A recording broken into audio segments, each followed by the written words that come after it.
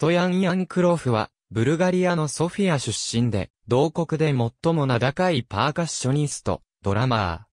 ー。優れたインスピレーションによって、ブルガリアや、その他の民族的なパーカッションや、現代的なエレクトロニックビート、ドラムス、民族楽器を織り交ぜて作り出される、即興演奏を披露している。2003年、有名な民族音楽歌手であるエリツァ・トドロバとの共演プロジェクトをスタートした。ストヤン・ヤンクロフは、ブルガリアのソフィアにある音楽学校リューバメアピップ工部を卒業、国立音楽アカデミーパンチョ、ブラディゲロフに入った。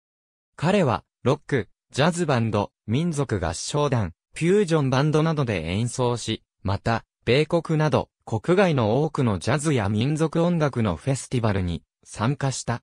ヤンクロフがこれまで最も長い期間にわたって関わってきたバンドは1994年に、ベセリン・ベセリーノ・フエチョ、バシル・パルメコブと共に結成されたゾーン C である。このバンドには後にミショ・グローズ・ダノーブ、ブラドコ・カーペラウフ、アチーゲン野生ノーブが加わった。ヤンクロフはまたシアドシス・ポッシフ、アナトリー・ベーピロフとのトリオ・フェアリー・テールトリオを結成した。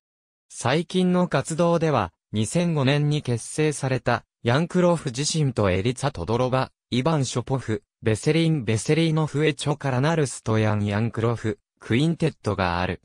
このバンドは2005年に開かれた、バルナジャズフェスティバルに参加し、神秘的で民族色を帯びた楽曲を披露した。